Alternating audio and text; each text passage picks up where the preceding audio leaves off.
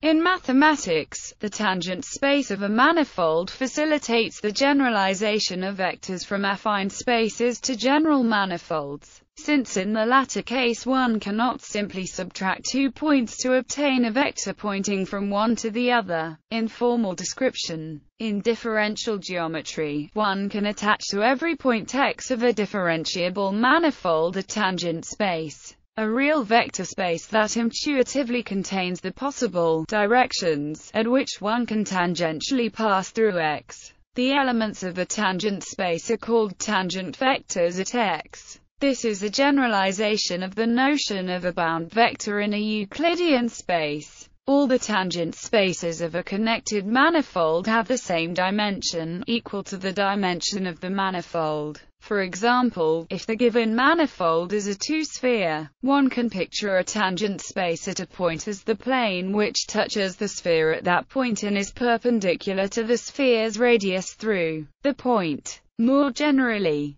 if a given manifold is thought of as an embedded submanifold of Euclidean space one can picture a tangent space in this literal fashion. This was the traditional approach to defining parallel transport, and used by Dirac. More strictly this defines an affine tangent space, distinct from the space of tangent vectors described by modern terminology. In algebraic geometry, in contrast, there is an intrinsic definition of tangent space at a point P of a variety V, that gives a vector space of dimension at least that of E. The points P at which the dimension is exactly that of E are called the non-singular points, the others are singular points. For example, a curve that crosses itself doesn't have a unique tangent line at that point. The singular points of V are those where the test to be a manifold fails. See Zariski tangent space. Once tangent spaces have been introduced, one can define vector fields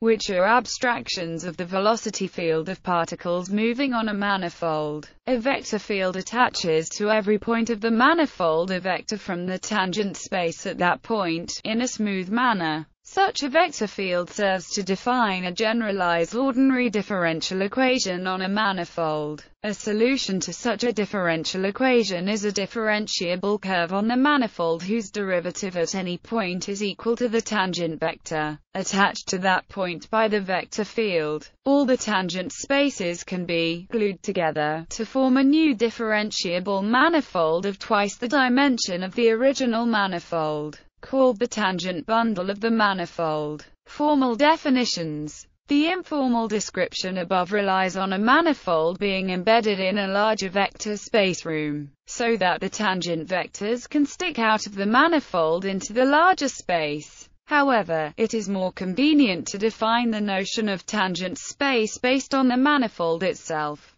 There are various equivalent ways of defining the tangent spaces of a manifold. While the definition via velocities of curves is intuitively the simplest, it is also the most cumbersome to work with. More elegant and abstract approaches are described below. Definition as velocities of curves in the embedded manifold picture. A tangent vector at a point x is thought of as the velocity of a curve passing through the point x. We can therefore take a tangent vector to be an equivalence class of curves passing through x while being tangent to each other at x. Suppose M is a CK manifold and X is a point in M. Pick a chart phi URN where U is an open subset of M containing X. Suppose two curves gamma 1, M and gamma 2, M with gamma 1 equals gamma 2 equals X given such that phi gamma 1 and phi gamma 2 are both differentiable at 0. Then gamma 1 and gamma 2 are called equivalent at 0 if the ordinary derivatives of phi gamma 1 and phi gamma 2 at 0 coincide. This defines an equivalence relation on such curves, and the equivalence classes are known as the tangent vectors of M at x.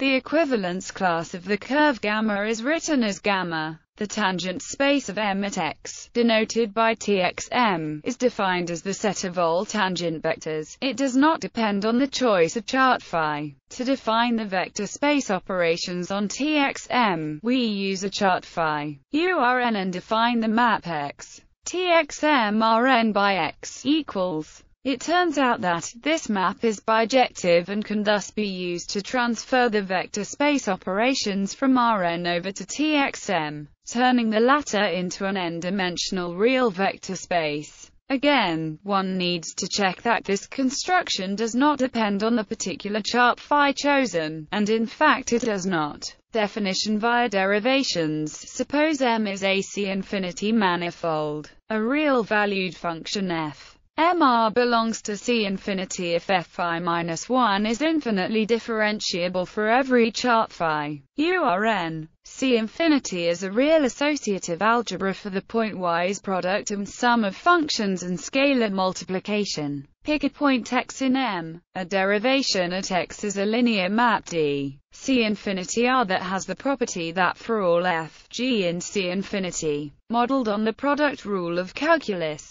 if we define addition and scalar multiplication for such derivations by and we get a real vector space which we define as the tangent space Txm. The relation between the tangent vectors defined earlier and derivations is as follows. If gamma is a curve with tangent vector gamma, then the corresponding derivation is d equals to r, where generalizations of this definition are possible, for instance to complex manifolds and algebraic varieties. However, instead of examining derivations d from the full algebra of functions, one must instead work at the level of germs of functions. The reason is that the structure or sheaf may not be fine for such structures. For instance, let X be an algebraic variety with structure or sheaf Ox. Then the Zariski tangent space at her point Px is the collection of k derivations d, ox, pk, where k is the ground field and ox, p is the stalk of ox at p. Definition via the cotangent space Again we start with a C-infinity manifold, M, and a point, x, in M. Consider the ideal, I, in C-infinity consisting of all functions, f,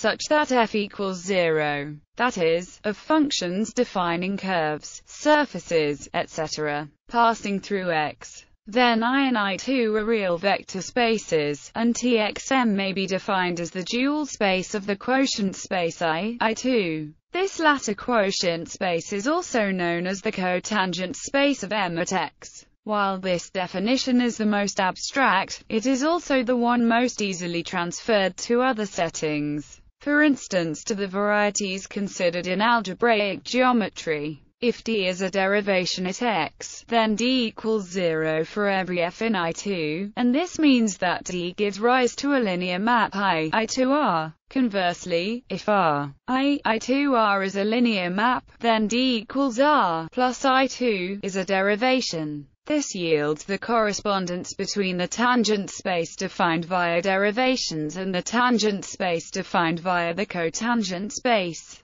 Properties if M is an open subset of Rn, then M is a C-infinity manifold in a natural manner, and the tangent spaces are all naturally identified with Rn. Tangent vectors as directional derivatives Another way to think about tangent vectors is as directional derivatives. Given a vector v in Rn1 defines the directional derivative of a smooth map f. Rn r at a point x by this map is naturally a derivation. Moreover, it turns out that every derivation of C infinity is of this form. So there is a one-to-one -one map between vectors and derivations. Since tangent vectors to a general manifold can be defined as derivations it is natural to think of them as directional derivatives. Specifically, if v is a tangent vector of m at a point x then define the directional derivative in the direction v by where f mi is an element of C infinity. If we think of v as the direction of a curve, v equals gamma, then we write the derivative of a map every smooth map phi. mn between smooth manifolds induces natural linear maps between the corresponding tangent spaces. If the tangent space is defined via curves, the map is defined as if instead, the tangent space is defined via derivations.